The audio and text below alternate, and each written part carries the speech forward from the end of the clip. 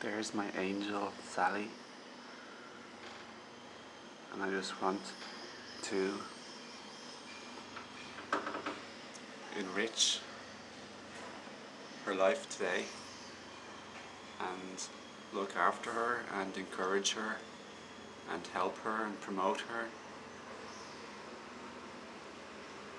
and to be a positive influence and part of her life today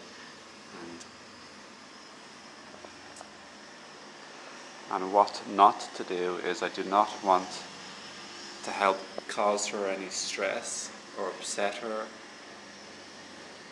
to be mean to her in any way big or the slightest. I just want to nurture her and nourish her and be good to her empower her help her find her own power and joy and peace in life and just be a positive influence. No meanness, no controlling, no nothingness like that. And I think this would be lovely if everybody did this to each other. Not just their loved ones and partners, but just everybody, the, the children. Not causing any hurt, no fighting, no arguing, no closed heart, but just a big open heart.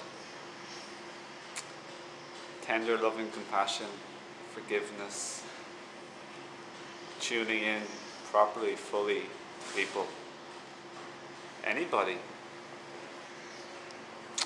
God bless everybody. Wishing you the best, okay? Take care.